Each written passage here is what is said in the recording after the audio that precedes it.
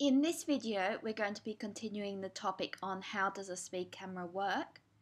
In this video, we're going to be considering relative motion. In this video, we're going to be considering relative motion.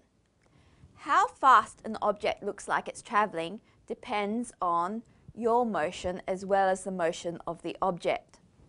So have you ever been in a train stopped at a station?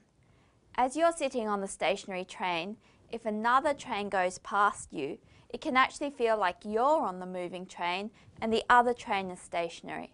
That's because you observe the relative motion and sometimes your brain can interpret this as you moving rather than the train which is actually moving.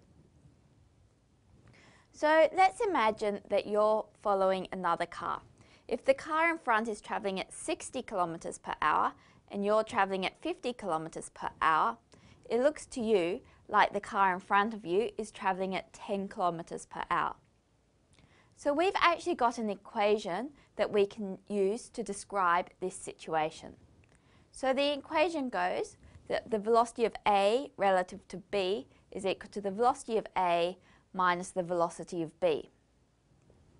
So in this example, you're in car B. So you want to work out the velocity of A relative to you. So that's the velocity of A, which is 60 kilometres per hour in the same direction you're travelling, minus your velocity, which is 50 kilometres per hour. Now remember that when we subtract a vector, to make it a negative vector, we just switch its direction. So what we've got now is 60 kilometres per hour in the direction you're travelling, plus 50 kilometres per hour in the opposite direction. When you add these two together, you're left with 10 kilometres per hour in the direction you're travelling.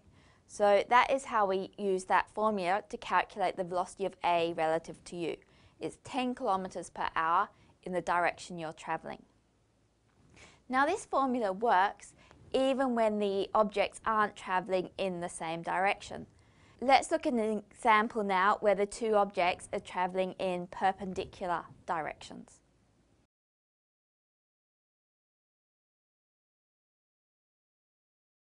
So the question is, a police car heads north at 60 kilometers per hour.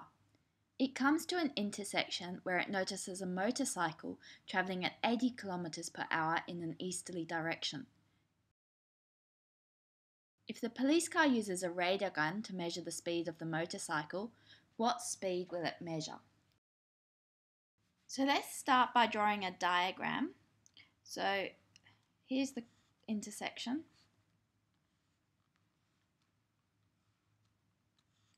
We've got a police car here travelling in a northerly direction at 60 kilometres per hour and we've got a motorcycle travelling towards the east at 80 kilometres per hour.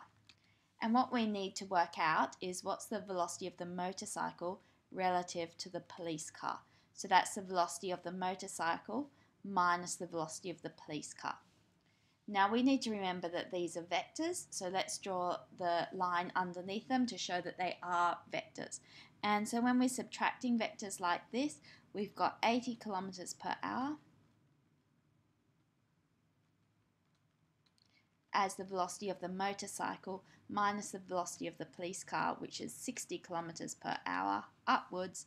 And so we can write this as 80 kilometers per hour towards the east plus 60 kilometers per hour towards the south because when we subtract a vector we can reverse its direction and add it instead of subtracting it. And now to add these vectors we need to draw them head to tail. So vector 1 here is 80 kilometers per hour, vector 2 here is 60 kilometers per hour and so the resultant is this vector down here and so to work that out, this is 90 degrees here, so we can use Pythagoras' theorem. It's 80 squared plus 60 squared, which when we solve that on the calculator, we end up with 100 kilometers per hour. So the radar gun is going to detect a speed of 100 kilometers per hour.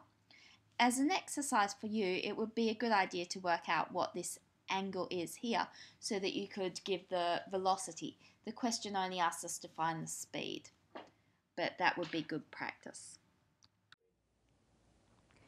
Now a really important rule in physics is that the laws of physics are the same in all inertial reference frames. So an inertial reference frame is one in which there's no acceleration or unbalanced forces acting. So at the moment I'm inertial because I've got my weight force acting down but it's balanced by the reaction force from the ground acting upwards. So you can't actually conduct an experiment in a reference frame to work out the absolute velocity of that reference frame. Now Einstein was the first to fully recognise this and he used this rule to come up with special relativity and general relativity. So if you're interested in those, they're really well described in Joe Wolfe's PhysClip site, so I'd recommend that you go and have a look at that. Now let's consider reference frames a bit more. Let's have a look at this demonstration and discuss how it looks from two different frames of reference.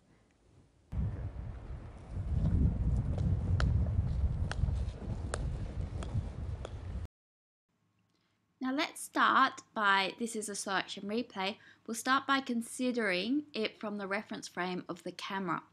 In this case, the golf ball traces out a parabolic path as it falls. So you can see the points it's passed through sketched out on the screen. Now what's happening here is we're considering it from my reference frame. So this blue line is pretty much in the same position relative to me and you can see how the ball drops down right beside the blue line and bounces up. And so in my reference frame, it likes, looks like the ball's just dropping and bouncing vertically with no horizontal movement. So in this short video, you've seen how to calculate relative velocities for two objects.